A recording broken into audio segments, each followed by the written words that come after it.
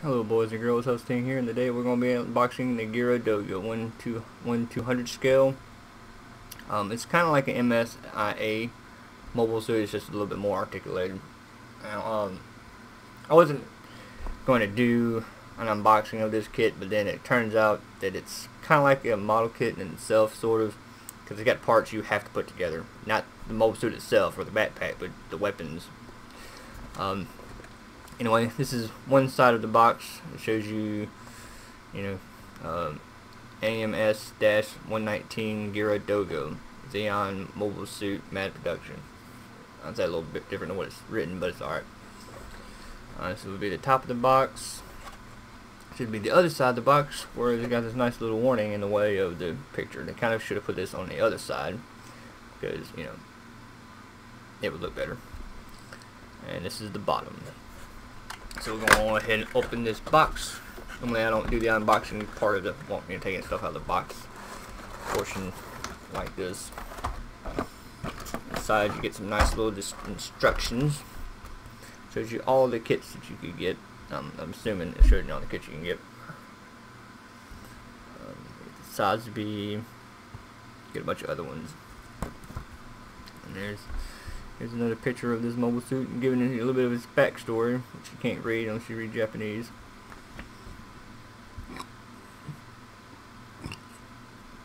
Now looking back at this one again, it would be kind of cool if you, could have got that one, because I mean that looks pretty badass compared to what the kits and everything else look like.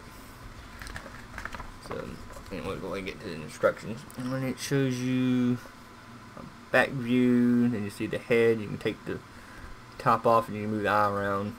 Shows you the missiles, some parts of the legs, shows you the weapons.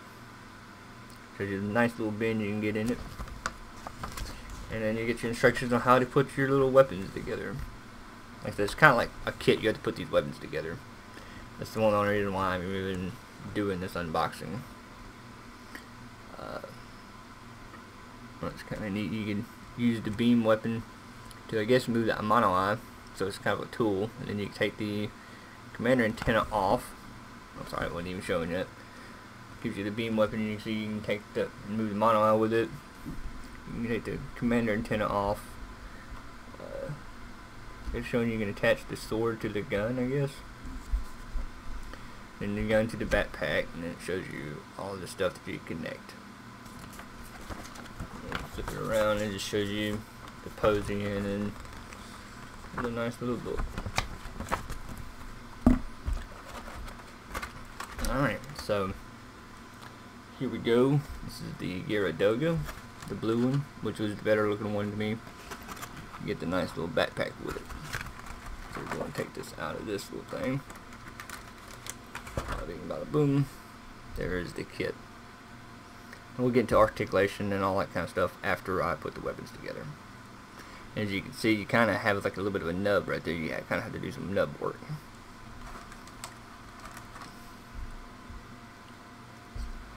Set them off to the side. This is the backpack. So they painted the thrusters, but you can tell they didn't do a very good job because you can see that the that's the spots that haven't been painted. But pretty much just get that and attach it to the backpack, to the back like so, and now it's attached. So here's your gun, you just put these two pieces together and it's all ready. Here's your sword, kind of, the sword looks kind of bad, you to cut off the runner. And this is the hilt, if you will. So I guess that's to go on the side of things. Here's your missiles, there's your shield, and some shield attachments and missile attachments, I'm assuming. And then your hands, your jazz hands, I guess you could call them. Alright, the first runner we're going to look at is OPI. I'm sorry, OP1. This is just the shield. You see, it's got that nice little um, bit of work done to it. Not too much, not too, you know, not too in your face, but, you know, still there. Right, the next one we're going to look at is the beam saber. This is, uh, flip it around. This is OP9. This is sword. Here are their missile pods. You can see right there, you got a little bit of red paint. You might have to scratch that off. And that's the only reason why I really did this video because they're on runners, so I mean it's kind of like putting a kit together Only bad thing is like these reds, once you cut that nub there, you'll have that little black, you know, a little bit of the plastic showing through, but you know, be alright. And this is the runner OP, OP8, overpowered 8. This is just the gun. It's just two little pieces you snap together and the gun's all ready. You know, we're getting this polycap material because it's kind of flimsy. This is OP7. This is for the open hand and the rest of the missile pods. The other two missile pods that were missing these two spots right down there. So these are probably attached to it. Now we're into OP6. This is the shield and probably some missile pod holding the missiles onto the shield. It's a nice, uh, you know, great color. Last but not least, we get this sword hilt. Uh, inactive. And I'm assuming this probably just uh, connects to the body somewhere. Before we get into this, I'm going to cut this, these parts off the runner and then put them together and then get to the reviewing part of this kit. Alrighty, now we're getting to the review portion of this video. I'm going to go with articulation and things like that. Now, first thing we'll go over is the, you know, this arm shield. You can do 360. You can go up about that far you know, about that much far of a bend in it. So you can have it any kind of way, really. This, this side arm, um, this top part of the arm where the spikes are, kind of double jointed to where you can get it, you know, in some nice little moves on the spikes. This is about as far as the left arm will go. The left arm. The left arm can go up pretty high. The right arm, on the other hand, though, cannot. That's about as high as you can get the right arm. The arms both can go 360. I'm not gonna go over the other arm because I mean they're both 360 and the arms themselves can go about that far, bend about that far. The backpack can pop up like that. And this part right here is for the gun to attach on. I'll show that in a minute.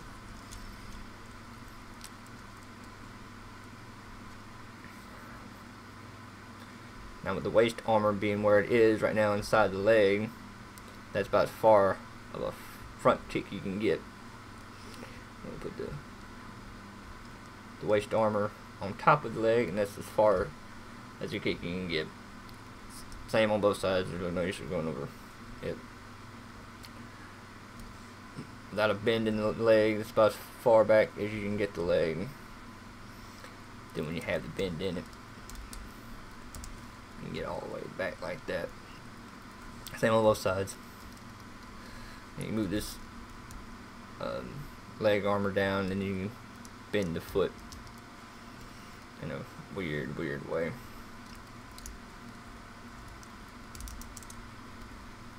So we go ahead and straighten all that up waist the arms like this. Now a bunch of a split you can get almost a full split. Almost. Not exactly, but I mean it'll do.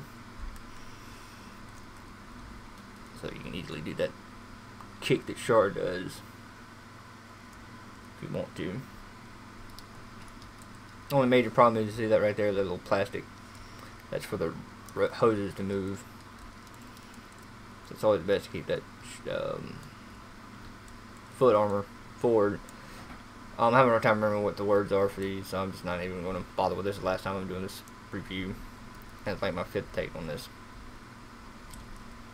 So I'm sorry if I sound like a a-hole. This is a sword, inactive version, and this is mainly the a tool to use to move the mono arm.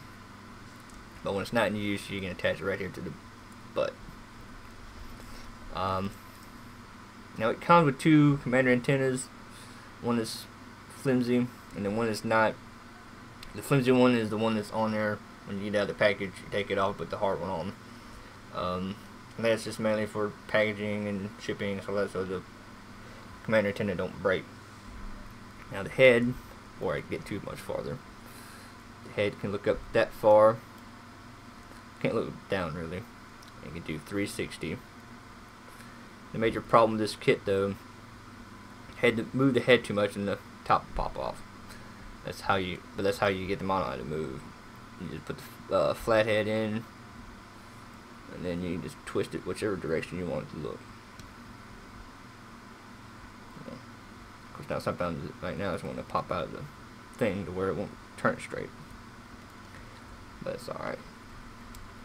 As I said, though, you just attach the inactive sword here, and that's stays. The second accessory we're going to get into is the gun. Now the gun, you have a little peg hole right there. You can attach it to the butt, but it, with the backpack there, that's kind of way, so you can't really get it, and it's not really good, um, strong connection. And this right here is where you can have the gun connected to the backpack. pop it in and bam. The gun is in place. Now I'm going to warn you, you got two looking pegs. You got a peg there and a peg there. That peg isn't for nothing. That peg doesn't do anything. This is the one you have to put the gun on. Depending on which way you flip it. But you can't miss it though. You'll see it's kind of got like a T to it. And that's just flat straight. You can't hold the gun. Not, and it's not going to go nowhere. Plastic on plastic. So you'll be alright. Kind of starting to sound like Tom Brokaw. not really. The sword is about the same. Yeah, it's not going to go nowhere because it's plastic on plastic, soft plastic. Now on this shield, you have a peg that you can use to attach to the arm. You have it two both ways. That way, which is for it to go an arm like this. But if you see, it, it's not a good. It's not good because it's kind of um, not in the best sitting pose. I'm going to say. I'm not even to try to worry too much about it. So for me, I'd always keep it in this pose. This shield. Of course, have the shield upside down. Let's take this and flip it around. Um, well, bam, it's there. And you also have little pegs there, so if you want to put missiles on that peg, you can. You get two of these. I really don't. I mean, other than you know, extra missile pods is basically it. You get attachment for this part right here. It holds some more. You can hold missiles on that too. But me though, I prefer it to be like this, so it looks like you can launch them from the shield. So that's how I always have it. And you get two hands, basically for I don't know for whatever kind of way you want to do it. If you want to, you know, try like that, again, or you can have, you know, the gun resting in one hand and you know shoot from the other. Alrighty, well, I hope I went into everything on this one. If not, then it's just going to be missing some parts and I'm about ready to get done with this review. Now, unlike a kit, it's not hard. I mean, unlike kits, kits aren't hard to review. This kind of thing is because I don't I don't why. So it's like you know, so it's kind of flimsy. You really don't get no. I'm gonna go in this. You really don't have a ways to move it, uh, and you have to worry about these things popping off. See, see how they come undone. So I suggest gluing that. But uh, that's about it for this review. If you liked it, leave a like on the video, rate, subscribe, and I guess I'll talk to y'all later. Bye.